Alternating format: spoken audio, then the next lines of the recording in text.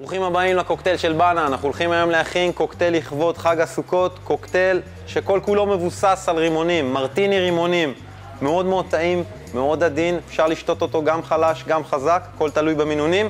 בואו נתחיל לעבוד, נראה עם מה אנחנו משתמשים. אנחנו נתחיל להשתמש קודם כל עם שיכר רימונים, שיכר רימונים ישראלי, זה נקרא דנו. מה שקורה, הם, במקום להתסיס ענבים, הם פשוט מתסיסים רימונים. אותו תהליך שהם מעבירים יין, פשוט מעבירים פרי הרימון, מאוד טעים, מאוד מיוחד. אנחנו נשתמש בוודקה, אנחנו נשתמש במיץ קרנבריז, ונשתמש מעט בלימון סחוט טוב. בואו נתחיל לעבוד ונראה מה אנחנו עושים. קודם כל אני לוקח שייקר. אני שם קרח בתוך השייקר, לא יותר מדי. אני לוקח מהשיכר רימונים שלי, וכאן אני חייב למדוד עם ג'יגר. אני לוקח ואני צריך לשים עכשיו שתי מנות, זה אומר 100 ml של שיכר רימונים. אני מודד את זה עם החלק הגדול יותר, שנותן לי בדיוק מנה של 50 ml.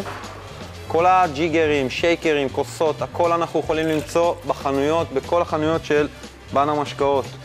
שמתי, מזגתי את השיכר רימונים, פה בא אל התפקיד של הוודקה. אפשר לעשות את זה חזק, אפשר לעשות את זה חלש יותר. אני אשים חצי מנה מהוודקה, משמע 25 מיל, אבל אני אשים יחד עם זאת גם עוד כפית סוכר, רק בשביל הביטחון, שיהיה לי גם יותר מתקתק.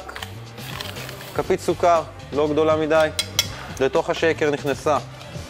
טיפה לימון סחוט, טרי טרי, ובוא נגיד 100 מיל של מיץ cranberries, מיץ חמוציות.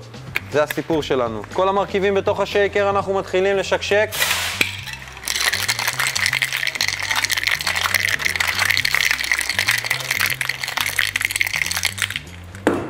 לפני שאנחנו מוזגים את הנוזל שלנו לתוך הכוס, אני לוקח את המכשיר של הקרח קטוש שלי ומתחיל מעט לטחון קרח קטוש. הקוקטייל חייב לצאת על בסיס קרח קטוש.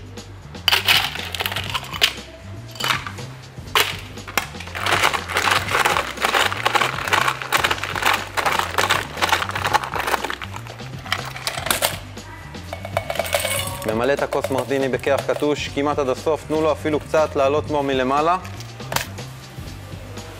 ואני פושט, פשוט מוזג קוקטייל רימונים קלאסי, חבר'ה 100% רימון, מאוד מאוד מאוד טעים. בשביל הסוף ניתן לו איזה דליקוטס.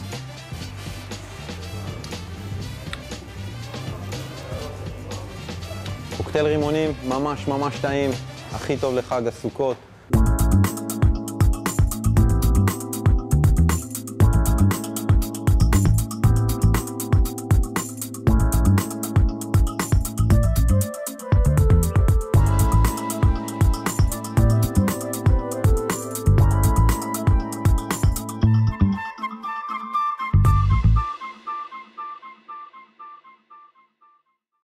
עד כאן חברים, תודה שהייתם איתנו בקוקטייל של בנה. אתם מוזמנים לבוא אלינו ולבקר אותנו בדף הפייסבוק וברחבי הארץ בכל החנויות. להתעדכן בכל מה שקורה אצלנו בבנה משקאות, הכי חזק באלכוהול. נתראה בפרק הבא של הקוקטייל של בנה.